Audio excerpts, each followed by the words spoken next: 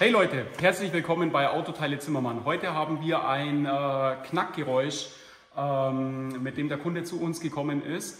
Und da wir heute eine Tieferlegung äh, noch machen wollen, wollen wir das Knackgeräusch vorher orten, weil äh, das Problem ist ja, mit einer Tieferlegung, behauptet Tesla zumindest mal, verliere man die Garantie aufs komplette Fahrwerk. Ist natürlich überhaupt nicht so. Man verliert effektiv eigentlich die Garantie nur auf eine bestimmte Buchse. Das ist die Buchse mit äh, mein bester Freund, die Buchse, sage ich jetzt einmal. Da gibt es schon mehrere Videos drüber, weil die kann man nicht entspannen. Ähm, wie wir dem Geräusch auf, der, auf die Schliche kommen werden, äh, dafür habe ich ja mein äh, Special-Gerät hier, meine Soundkamera. Das sind über 100 Mikrofone, Richtmikrofone und in der Mitte eine Kamera. Das, äh, die vier LEDs hier sind zum Beleuchten, falls es mal dunkler wird und damit kann ich quasi Schall sichtbar machen. Und da könnt ihr heute dabei sein. Ja, als Beispiel, wie sich das Geräusch anhört, der Kunde bemängelt, es ist, macht immer ein ähm, lautes, metallisches Klackgeräusch beim Lenken im Stand bzw. vorm Rangieren. Also nicht typisch wie Model S, Model X durch den fehlenden Spurdifferenzwinkel, dass sie sich beim Rückwärtsfahren versetzen, so hat es ihm aber auch leider das Service Center erklärt. Die haben schlicht und ergreifend SX mit 3 und Y verwechselt, sind komplett verschiedene Fahrwerke, kann man absolut nicht miteinander vergleichen. Und äh, ja, der Dennis sitzt schon im Auto und der wird jetzt mal für uns lenken im Stand und dann werden wir uns das mal genau anhören. Oh, habt ihr schon gehört? Also es kommt definitiv hier äh, von der Achsaufhängung wo genau, wissen wir noch nicht. Dafür haben wir ja die Soundcam. So, jetzt haben wir hier die Soundcam hochgefahren. Das ist dann im Prinzip das Bild, was wir dann äh, bekommen. Da sehen wir hier zum Beispiel schon, das ist anscheinend eine Kühlmittelpumpe, wo er ein bisschen Lärm macht. Jetzt müssen wir natürlich eins erst einmal einstellen, und zwar die Entfernung, damit wir die Dezibel auch korrekt messen können. Das stellen wir hier ein. Und da müssen wir dann sagen, hier ist jetzt natürlich eine Distanz von nur 32 cm eingegeben. Hier müssen wir auf jeden Fall weiter. Ich würde jetzt mal sagen, dass wir im Schnitt so circa aus 1,30. Also es geht jetzt nicht genau um den Zentimeter, aber man sollte schon ungefähr da sein, äh, wo, wo wir dann sind. Dann haben wir hier noch den Frequenzbereich. Wir können jetzt hier den Frequenzbereich hin und her schieben. So erkennt er jetzt alle Geräusche zwischen 950 Hertz und äh, 7000 Hertz. Ich kann natürlich hier äh, den Messbereich weit runterstellen, dass er wirklich nur Tiefgeräusche erkennt. Ich kann aber auch hier die, die Range von 5150 zum Beispiel bis 6000 Hertz ähm, äh, einstellen. Ich kann aber auch die Range dynamisch machen, dann äh, macht er das eigentlich automatisch. Ähm, in der Regel gehe ich jetzt her und mache jetzt hier so eine Frequenz zwischen 2000 und 7000 Hertz. Und ihr seht hier schon, dass das so die typischen Frequenzen sind, wo das Ding drauf reagiert. Wenn wir jetzt still sind zum Beispiel, dann geht er hier voll auf den Klimakompressor. Nein, es ist die Kühlmittelpumpe, sorry. So, man kann genau hören, wie sie arbeitet. Das ist dieses Teil hier. Man hört sie, man fühlt sie ganz leicht vibrieren, aber so ist es natürlich eine eindeutige Geschichte. So, und jetzt, Dennis, lenk mal.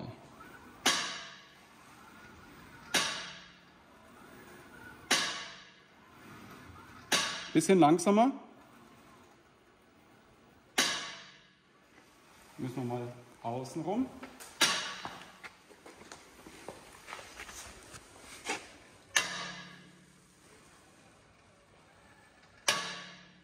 Ah, hier wir ein kleines Aufblitzen.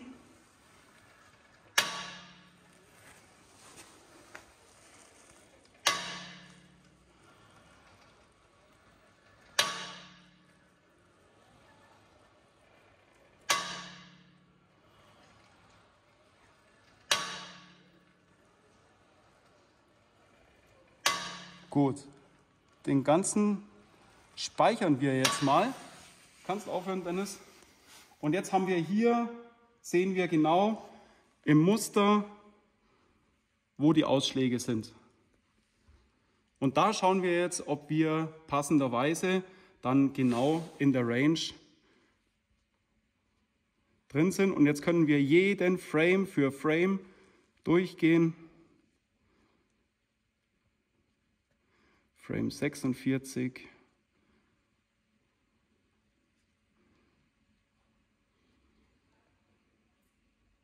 Aha, da haben wir was aufgeblendet. Äh, Bei Frame 54. Und danach ist schon wieder weg. Dann können wir hier im Prinzip auch gleich vorgehen. So, und jetzt Frame 479.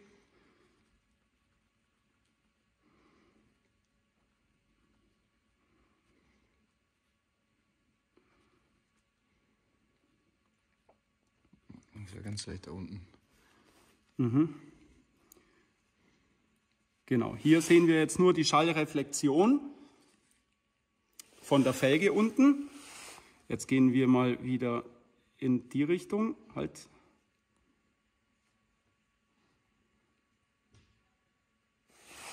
So, jetzt sind wir kurz vom nächsten Frame, Frame 920.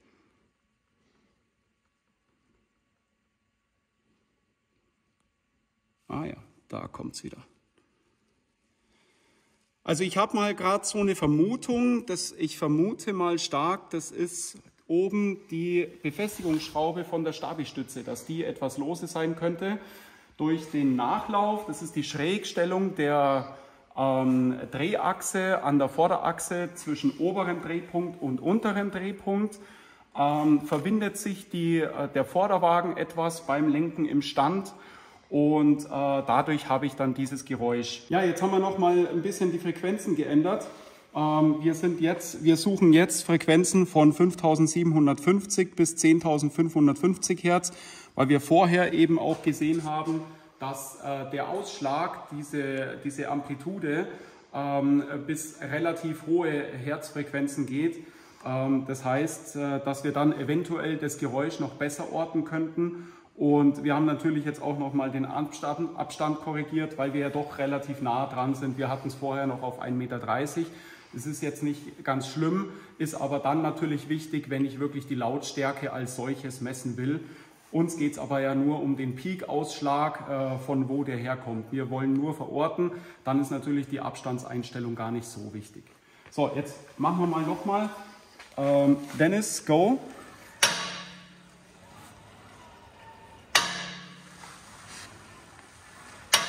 Ich denke, wir haben wieder genügend Ausschläge, die können wir jetzt im Prinzip schon mal auswerten. So, kurz vor den hin. Und dann schauen wir mal, ob wir was finden. Ja, also wir haben hier auch wieder genau hier dran, direkt hinter der Bremsscheibe quasi den größten Ausschlag.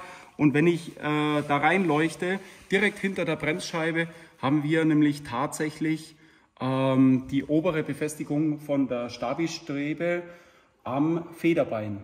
Also hier könnte es äh, locker sein und dann durch die Verbindung immer zu einem Losbrechmoment kommen. Und äh, dieses Losreißen dieser einer Schraubverbindung, die nicht ganz fest ist, das führt dann immer zu einem Knacksen oder ein Rattern zum Beispiel. Das ist nichts anderes wie ähm, eine wiederholte ein wiederholtes Losbrechmoment äh, und eine wechselhaft, eine, eine Wechsel, Wechselung, eine schnelle Wechselung zwischen Haft und Gleitreibung. Und äh, hier haben wir nur einen einmaligen Wechsel zwischen Haft und Gleitreibung, das wir dann als Knacksen wahrnehmen. Und jetzt leuchten wir mal mit der Taschenlampe rein. Ja, genau da, wo ich jetzt hinleuchte, das ist die obere Befestigungsschraube von dem äh, Frontstabilisator beziehungsweise von der Koppelstange, Pendelstütze, Stabistrebe, wie auch immer es heißt. Es gibt unzählige Synonyme im Werkstattalltag, aber es ist im Prinzip alles richtig. Die Koppelstange verbindet das Federbein bzw. irgendeinen Querlenker, der wirklich mitgeht mit dem Rad ähm, mit dem eigentlichen Stabilisator. Ja, was ist der Stabilisator überhaupt? Für was braucht man den? Also in erster Linie, ich sage es immer zu den Kunden so, damit du nicht um die Kurve fährst wie mit einer Ente, also sprich mit einem Citroën 2CV, der hat nämlich sowas definitiv nicht.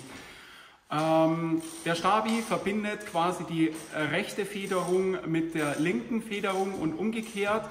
Wenn ich jetzt um die Kurve fahre, dann habe ich eine gewisse Rollneigung oder ein Kippmoment. Das Fahrzeug will zur kurvenäußeren Seite rüberkippen.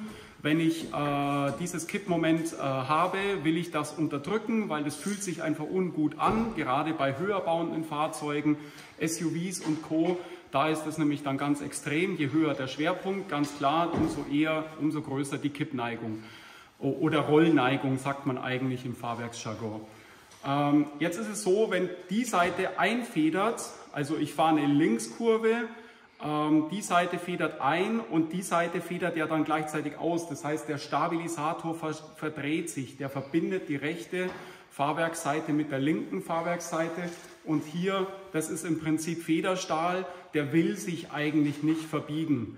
Ähm, so, ich sage jetzt mal, die ersten ein, zwei Zentimeter, das geht ganz gut, aber danach, je, je größer, je mehr er sich verbiegen will, linear, umso mehr äh, Kraft äh, wird benötigt und äh, das soll eben der Stabilisator verhindern, dass die Rollneigung im Fahrzeug zu groß wird, damit man nicht seekrank wird und dann zum Schluss noch eine Kotztüte braucht. Äh, gerade bei den äh, Vorpassagieren kann das oft äh, der Fall sein, wenn das Fahrwerk insgesamt auf der Hinterachse zu weich ist. Äh, Tesla Model S-Fahrer der ersten Generation, die äh, werden das kennen. Tesla hat damals die ersten Model S, die auf den Markt kamen, ohne Heckstabilisator ausgeliefert, bis auf die P85 Plus. Die hatten von Haus aus ein steiferes Fahrwerk, ähm, was sich unterschieden hat zwischen äh, durch einen Heckstabilisator und eben auch eine andere äh, Dämpferkennlinie bei den äh, Fahrwerksfederbeinen. Ähm, genauso den gleichen Fehler in Anführungszeichen macht Tesla jetzt äh, momentan wieder bei den SR Plus aus Amerika, die mit dem leichteren Lithium-Ionen-Akku äh, geliefert werden. Ja, ein Lithium-Eisenphosphat ist auch ein Lithium-Ionen-Akku, das weiß ich, aber ein Lithium-Eisenphosphat unterscheidet sich durchaus signifikant. Deswegen der SR Plus aus China, der hat in der Regel den äh, LFP-Akku und der ist wesentlich schwerer. Deswegen hat Tesla hier auch an der Hinterachse wieder den Heckstabilisator äh, eingebaut. Ähm, der ist auch irgendwo zwingend notwendig, ähm, weil gerade hohe Geschwindigkeiten, da kommt das Fahrwerk ganz, ganz schnell in Grenzbereich. Und äh, German Autobahn ist doch relativ einzigartig auf der Welt. Ähm, ich finde es schade, dass Tesla hier den Fehler gemacht hat. Man kann bei mir natürlich den Heckstabilisator ähm, nachrüsten lassen mit einem Tesla Original Stabilisator, so dass das äh, dann auch wieder gegeben ist. Voraussetzung dafür ist natürlich, ihr habt gar keinen drin. Ja, ähm, wir werden das jetzt nochmal weiter eruieren, jetzt ab, ab, auf die Hebebühne und jetzt schauen wir mal, wie weit wir die Schraube eventuell noch nachziehen können. Ja, bei der, bei der Schadensfeststellung äh, von solchen Fehlern interessiert mich natürlich auch immer ähm, die Fahrzeughistorie.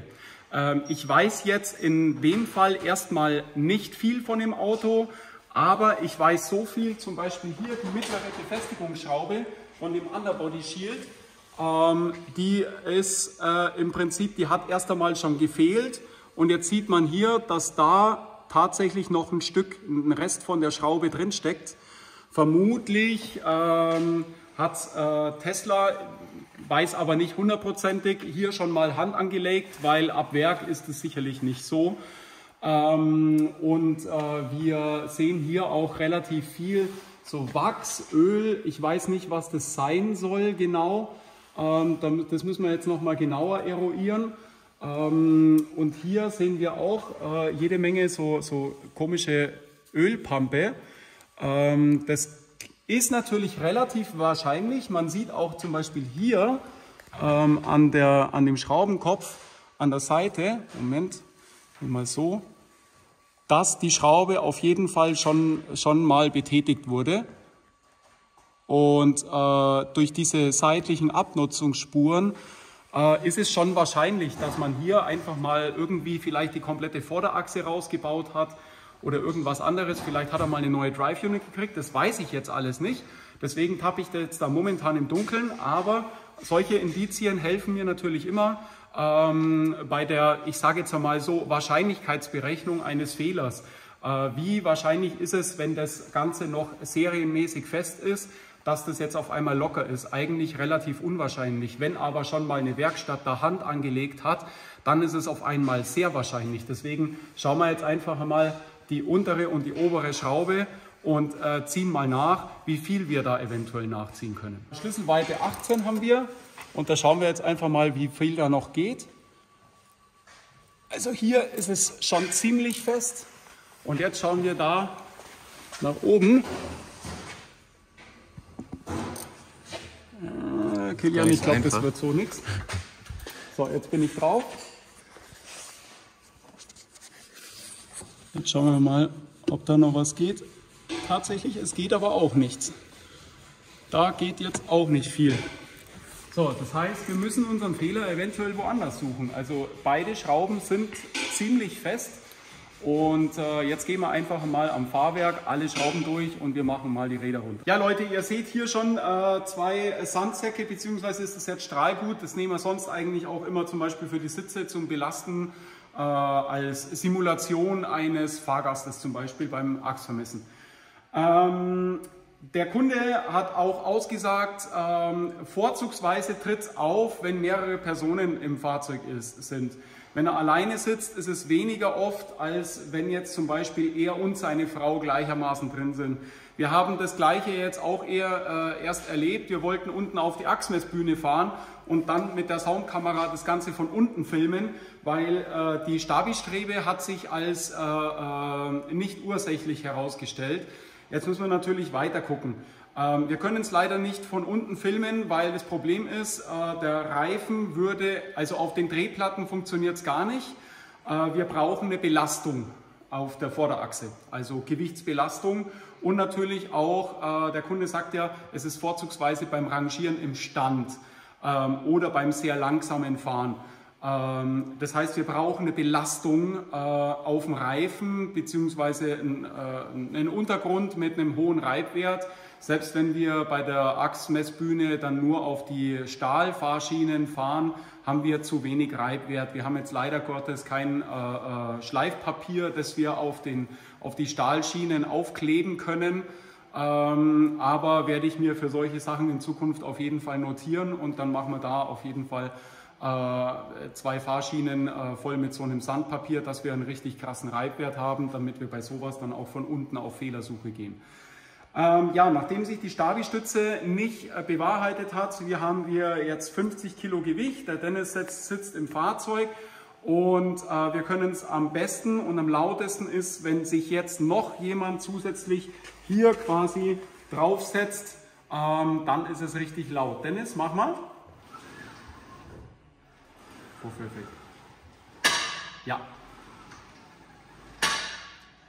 Und das Kuriose ist, ähm, ich habe jetzt alle Gelenke mal wirklich mich äh, fast schon halb drunter geflaggt, äh, während man das Lenkrad dreht. Bitte aufpassen, wenn ihr sowas macht. Ähm, auf jeden Fall ganz langsam nur bewegen die ersten paar Male.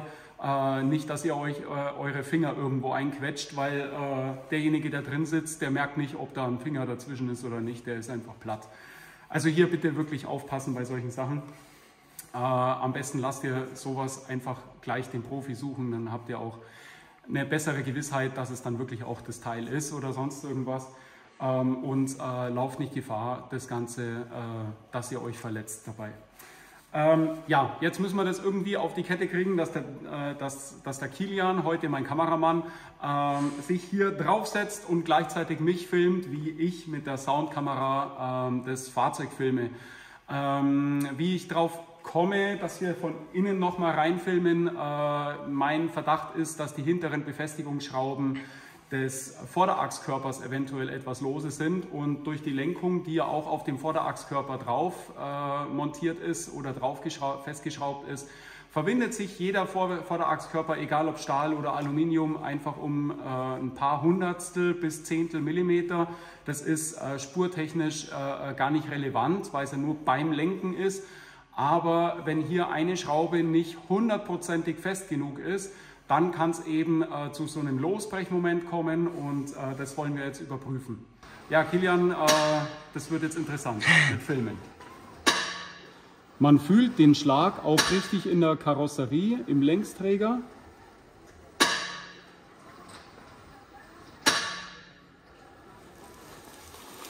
Ich versuche mal noch näher hinzugehen, aber es wird wahrscheinlich nicht immer was helfen. Das Problem ist an der Soundcam, dass die relativ groß ist. Also der Schirm hier ist relativ groß. Wenn ich jetzt so nah hinkomme, äh, gehe, dass ich nur hier in dem Bereich filme, habe ich natürlich nur 20 Richtmikrofone und nicht alle. Ähm, deswegen müssen wir immer komplett so draufhalten. Ja, aber ich bin relativ zuversichtlich, dass das die Befestigung Vorderachskörper zum Längsträger ist. Also wir haben den Peak über drei bis vier Frames. Frame 1, Frame 2, Frame 3, Frame 4, Frame 5. Ja, und jetzt schwächt es wieder ab. Und es kommt so ziemlich von hinten. Also was man hier sieht, ist zum Beispiel die Antriebswelle. Die geht hier vorne vorbei, fast parallel zu diesem Kühlwasserschlauch hier. Und da, wo man jetzt Hier haben wir den Peak. Hier haben wir allerdings einen vorher ausgelösten Peak. Und der vorher ausgelöste Peak, das zeige ich euch hier, das ist hier an der anderen Befestigungsschraube. Ich kann es nicht Licht machen. Nee.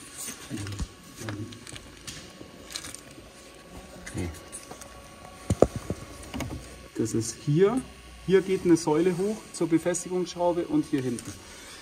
Ja, also ich würde jetzt mal sagen, Fehler fast zu 100% gefunden. Ähm, wir werden das natürlich jetzt im Zuge der Zielverlegung sowieso nochmal nachkontrollieren. Äh, wir haben nämlich durchaus immer wieder auch Modell 3s, die vom Sturz links und rechts her überhaupt nicht passen. Das liegt dann meistens daran, dass äh, entweder die, ähm, die Gummibuchsenlager äh, dass die etwas äh, schief sitzen, beziehungsweise die Schrauben natürlich nicht äh, zentral im Loch angeordnet sind. Ich habe ja immer eine ungefähr halben Millimeter größeres Loch, wie Schraubenaußendurchmesser ist, sonst müsste ich ja die Schraube mit dem Hammer reinklopfen. Ähm, ansonsten äh, hier auf jeden Fall nochmal den Vorderachskörper ähm, nachziehen. So, jetzt wollen wir unsere Vermutung mal überprüfen, ob das äh, eventuell an diesen losen Schrauben hier liegt. Eins, zwei, drei. Und hier oben ist die vierte. Und das ist natürlich essentiell, wenn die Lenkung richtig arbeiten muss. Das heißt, am meisten muss eine Lenkung immer dann arbeiten, wenn ich im Stand lenke, wenn natürlich der Reifen äh, sich gar nicht drehen will.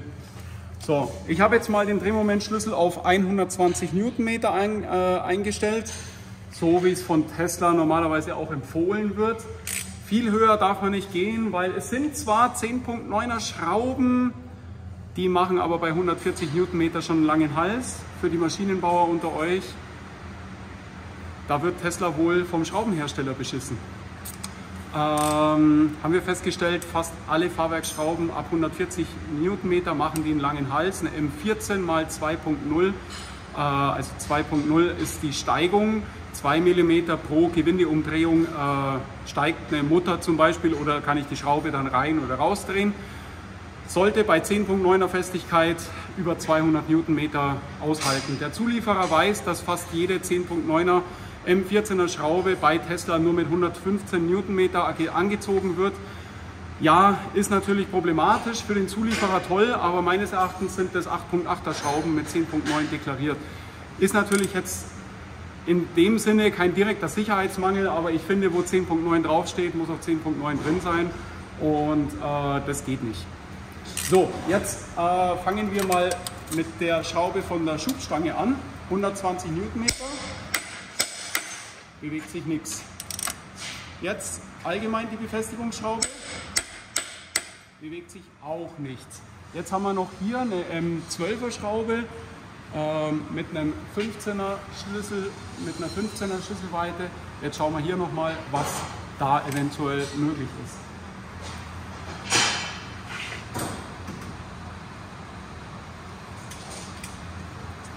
So, dann müssen wir jetzt natürlich mit dem Drehmoment runtergehen. Mit dem 12er 100 Newtonmeter macht die locker mit. Dann schauen wir mal. Aha. Oh. Okay, das ist jetzt echt krass. Die ist auch nicht viel besser. Ja, mal runter. Eine normale M12er Schraube, die hält auch, wenn, sie, wenn 10.9 draufsteht. Schauen wir mal. Ja, es steht 10.9 drauf.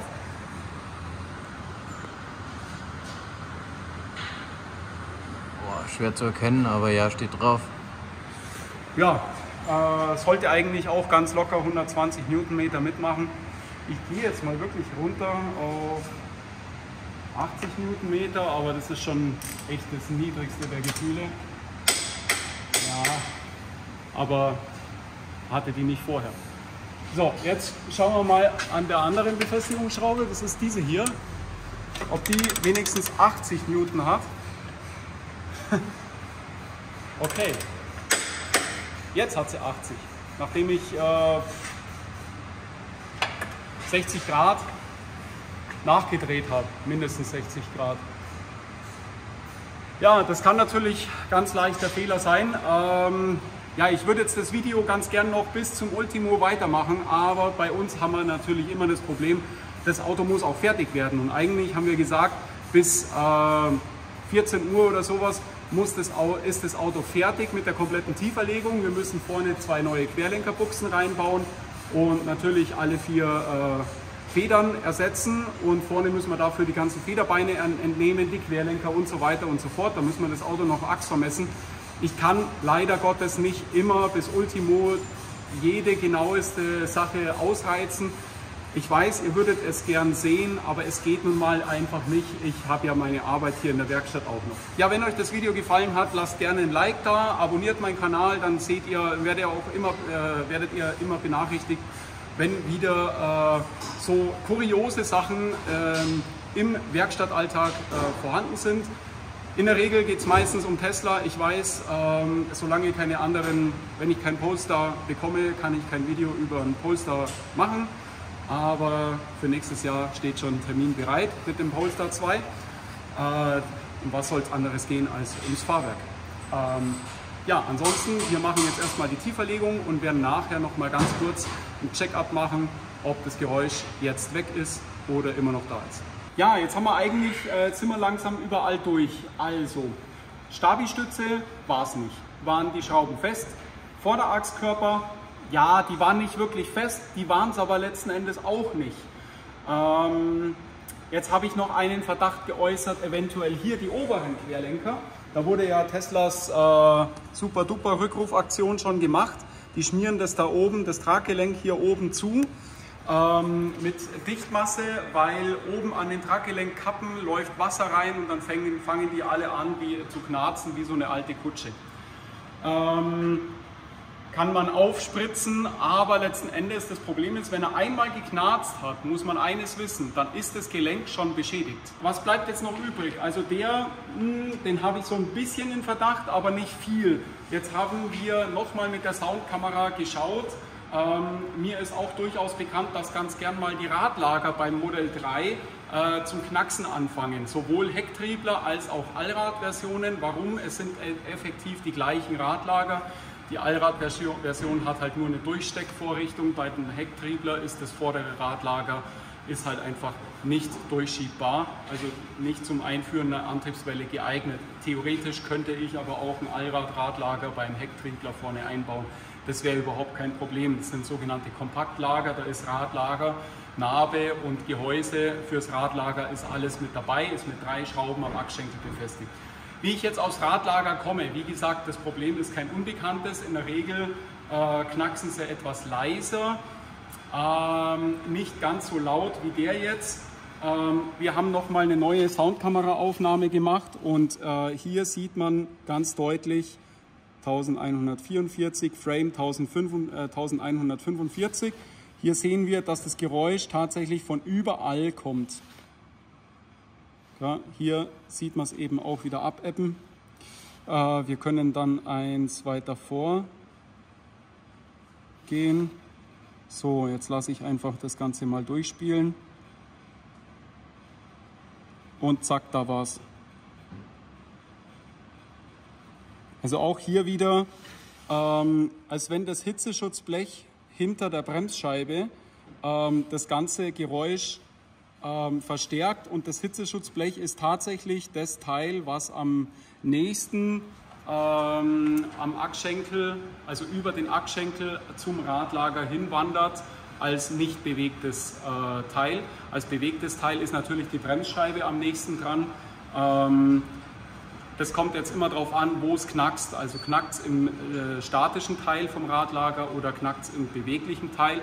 Wir werden jetzt erstmal unsere Arbeit zu Ende führen. Wir haben ja jetzt auf diesem Wege auch natürlich Tesla einen Nachweis erbracht, äh, dass das Problem schon vorher bestanden hat, vor der Tieferlegung. Und ja, jetzt machen wir erstmal die Achsvermessung. Äh, Radlager und so weiter haben wir auf Spiel geprüft. Es ist kein Spiel feststellbar. Das heißt, es ist jetzt auch nicht relevant für die Achsvermessung. Wir machen jetzt eine und danach bauen wir das Ganze nochmal raus. Wir haben natürlich neue Radlager auf Lager und werden einfach spaßhalber jetzt mal ein neues Radlager einbauen und schauen, ob es dann weg ist.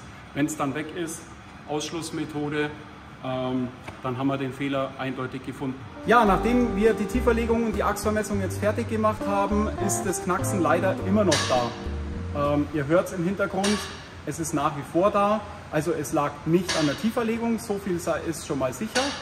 Ähm, wir hatten ja vorher die ähm, Vermutung geäußert, dass es eventuell am Radlager liegen könnte. Wir haben natürlich eins äh, hier liegen und der Kunde hat gesagt, also es kostet um die 180 Euro rum. Ähm, die Arbeit zugunsten des Videos ähm, schenkt man ihm jetzt und der Dennis baut jetzt für uns einfach mal ja,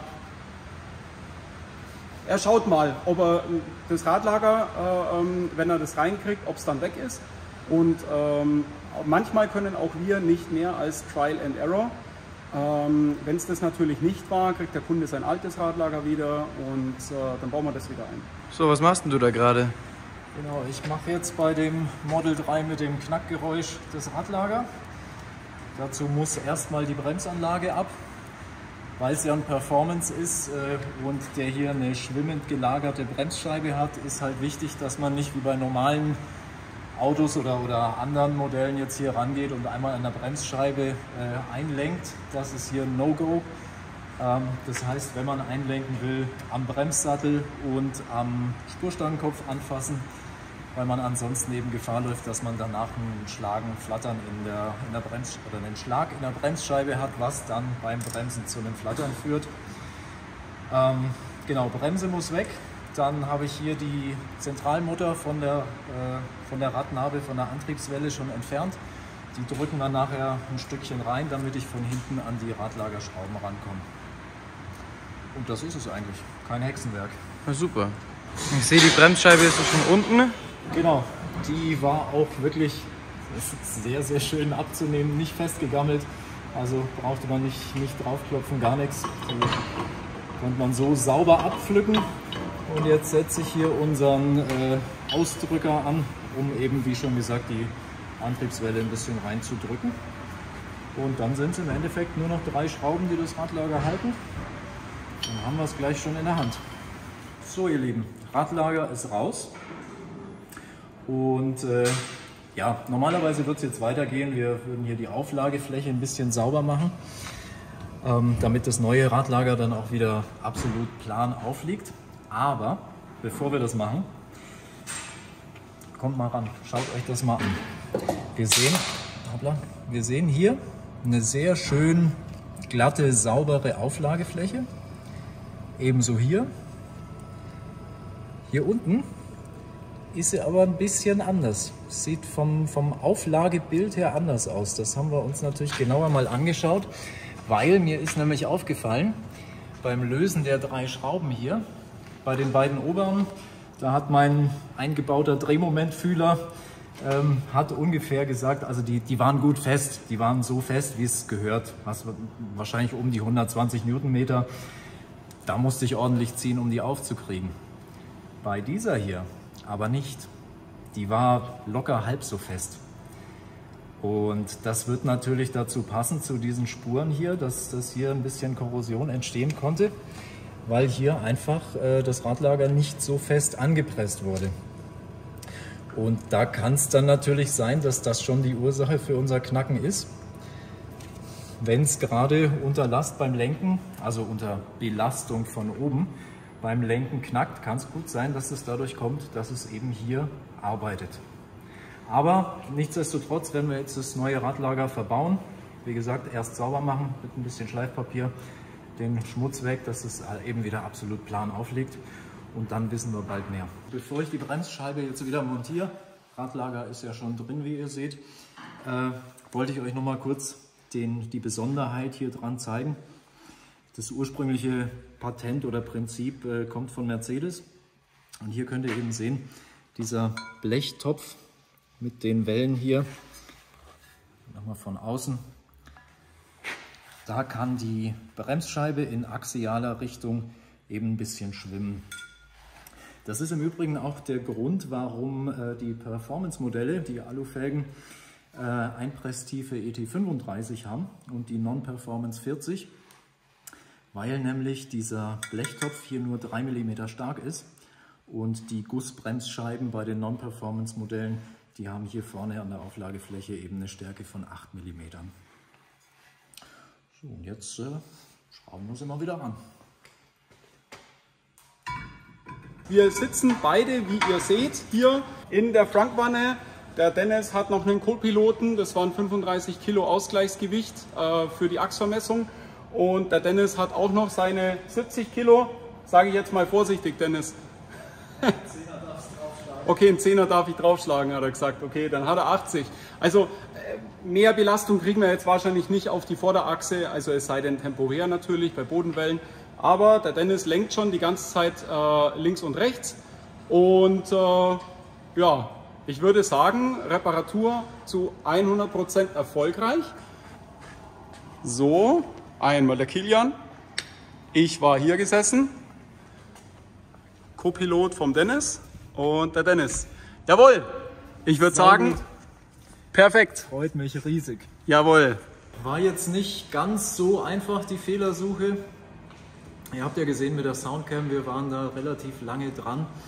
Ist natürlich auch eine fiese Geschichte. Manchmal überträgt sich der Schall, äh, gerade wenn es jetzt, äh, jetzt durch so starre, harte, metallische Körper durchgeht, Stichwort Körperschall, da ist es schwer zu lokalisieren und dann müssen wir halt, wie in jeder Werkstatt eigentlich auch, irgendwann muss man dann halt auch mal Trial and Error machen. War jetzt unser First Try, First Hit, hat gleich geklappt, war gleich das Radlager äh, freut mich riesig, macht mich richtig glücklich, wenn, wenn wir sowas dann finden. Ähm, ja, warum wir jetzt das Radlager trotzdem neu gemacht haben, hm, zum Beispiel aus meiner Zeit bei Opel äh, Corsa D, GSI, OPC, da gab es mal eine Geschichte, dass die Radlager im Werk nicht gleichmäßig oder beziehungsweise nicht über Kreuz festgezogen wurden. Das sind fünf Schrauben, muss man äh, die Anzugsreihenfolge einhalten, wie beim Rad eigentlich auch. Ähm, es hätte ja sein können, dass durch, das, durch die, die nicht festgezogene Schraube, dass sich das Radlagergehäuse eben verzogen hat, so wie eben damals bei den Corsa das passiert ist. Deshalb, bevor wir uns da jetzt noch ein Ei ins Nest legen, haben wir gesagt, Radlager machen wir neu, dann sind wir auf der sicheren Seite. Ja, wie gesagt, Geräusch ist weg. Wir sind alle happy. Der Kunde, dem werden wir gleich die frohe Botschaft überbringen. Und ja, dann würde ich sagen, wenn es euch gefallen hat, das übliche Liken, Abonnieren, immer gerne, freut uns dann. Ähm, und wenn ihr mehr sehen wollt, äh, herzlich gerne. Bis zum nächsten Mal.